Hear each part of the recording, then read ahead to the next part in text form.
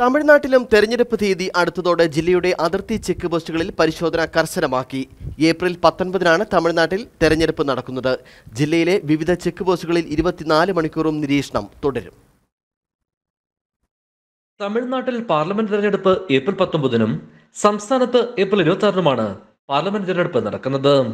ഇതുകൊണ്ട് തന്നെ അതിർത്തി ചെക്ക് പോസ്റ്റുകളിൽ പരിശോധനകൾ കർശനമാക്കി. ഇതിനു പുറമെ സമാന്തര പാതകളിലും പരിശോധനകൾ തുടരും. പോലീസ് ഫോറസ്റ്റ് തെരഞ്ഞെടുപ്പ് സ്പെഷ്യൽ സ്ക്വാഡ് എക്സൈസ് എന്നിങ്ങനെ വിവിധ വകുപ്പിലെ ഉദ്യോഗസ്ഥർ സംയുക്തമായിട്ടാണ് പരിശോധന നടക്കുന്നത്. അതിർത്തി വഴി കടന്നു പോകുന്ന വാഹനങ്ങളുടെ രേഖകളും പരിശോധിക്കും. തെരഞ്ഞെടുപ്പ് കമ്മീഷന്റെ നിർദ്ദേശപ്രകാരം രൂപീകരിച്ച സംഘം പണമൊഴുക്ക് അനധികൃത മദ്യവിതരണം സാമൂഹ്യ ഇടപെടൽ വോട്ടർമാരെ സ്വാധീനിക്കാനുള്ള നീക്കം തുടങ്ങിയവ നിരീക്ഷിക്കും. വിവിധ സ്ക്വാഡുകളായി ഇരുപത്തിനാല് മണിക്കൂറും പരിശോധനകൾ നടത്തും. വാഹന പരിശോധന കേരളത്തിലെ വോട്ടെടുപ്പ് കഴിയുന്നവരെ തുടരും. ഇടുക്കി വിഷൻ കുമളി